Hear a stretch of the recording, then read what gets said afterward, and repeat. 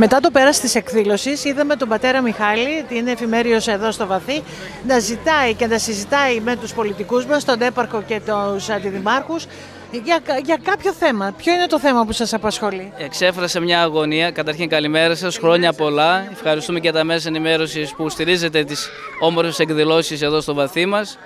Και ευχαριστώ και όλους όσους παράγοντες βοήθησαν το επαρχείο, το δήμαρχό μας, τους συντελεστές, τους πολιτιστικούς φορείς εδώ πέρα στο βαθύ μας.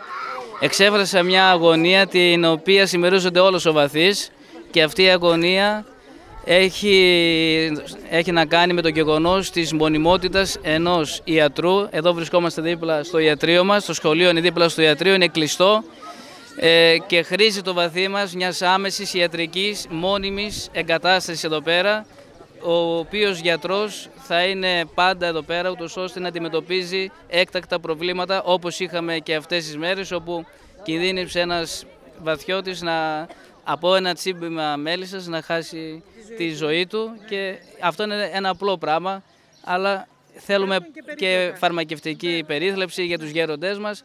Μίλησα και με τους φορείς εδώ πέρα και είδα ότι ήδη έχουν αφουγκραστεί τα ευήκοα ότα του επάρχου μας και του δημάρχου και μου είπε ότι θα το δούνε πιο στεναρά και αυτοί και ήδη έχουν κάποιοι κάνει κάποιες κινήσεις και ευχόμαστε επιτέλους να λυθεί όπως και το πρόβλημα της ψερίμου μας έτσι και εδώ πέρα γιατί Είμαστε και εμείς ένα κριτικό χωριό μεγάλο που δεν υστερεί τίποτα με, με το κέντρο μας, την πόθια μας.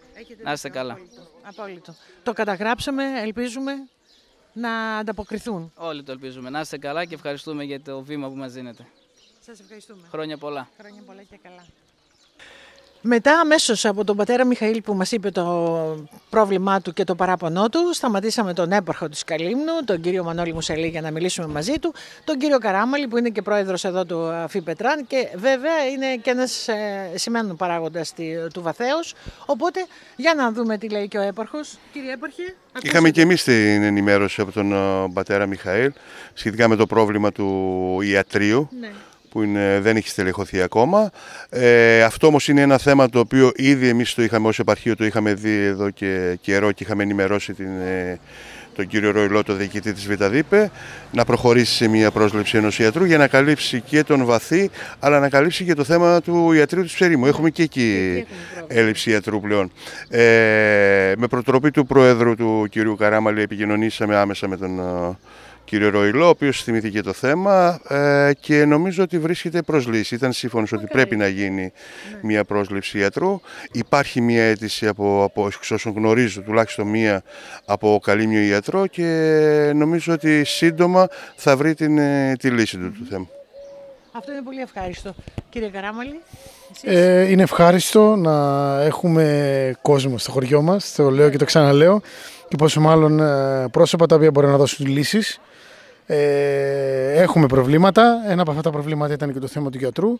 Ήταν μια ευκαιρία που ήταν όλοι εδώ μαζεμένοι να το τονίσουμε πάλι, γιατί είχαμε και ένα συμβάν με ένα συγχωριανό μας πριν από μία με δύο μέρες, ε, ο οποίος ήταν αλλεργικός και όπως καταλαβαίνετε είναι κάποια περιστατικά τα οποία χρήζουν άμεσης επέμβασης. Δεν ναι. μπορούμε να περιμένουμε πότε θα πάμε στην πόθια.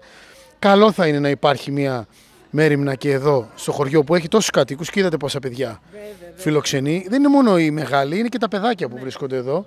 Που ανά πάσα ώρα και στιγμή μπορεί να χρειαστούν οτιδήποτε. Ε, είχαμε κάνει και το είχαμε τονίσει και πιο παλιά εμείς και με την αλλαγή της Δημαρχίας. Ε, προσπαθούμε και προτρέπουμε κάθε φορά τον ε, κύριο Έπαρχο που μας βοηθάει πάντα ε, και πάλι πήρε ένα τηλέφωνο τον κύριο Διοικητή της ΔΥΠΕ.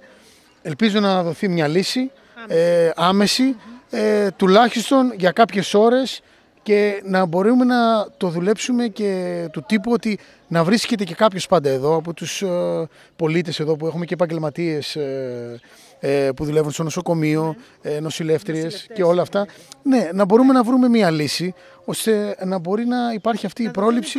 Ακριβώς, να δοθούν οι πρώτες βοήθειες. Είναι πολύ σημαντικό αυτό σε έναν οικισμό με 200-300 άτομα. Πολύ βασικό. Λοιπόν, σας ευχαριστούμε πολύ. Ευχόμαστε να λυθεί άμεσα το θέμα αυτό. Το ελπίζουμε και είναι σημαντικό αυτό που λέει ο Πρόεδρος, ότι πρέπει να γίνει μια συνεργασία ναι. και με κατοίκους εδώ που έχουν γνώσεις υποστηρικτικές mm. του ιατρού. Εμείς αυτό που ελπίζουμε είναι άμεσα να γίνει η πρόσληψη του ιατρού, να μπορεί να καλύψει το βαθύ και όπως σας είπα, να μπορεί να προσφέρει και τις υπηρεσίες του και στην Ψέριμο. Ε, το παρακολουθούμε το θέμα ως επαρχείο. Ε, Εντάξει, ήταν μια καλή ευκαιρία που βρεθήκαμε εδώ πέρα.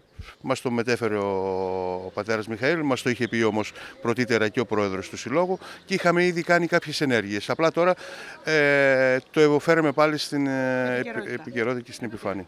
Λοιπόν, ευχόμαστε να λυθεί. Σας ευχαριστώ πολύ, κύριε Έπεργε. Ευχαριστώ πολύ, κύριε Καραμάνη. Να είστε καλά, ευχαριστούμε πολύ.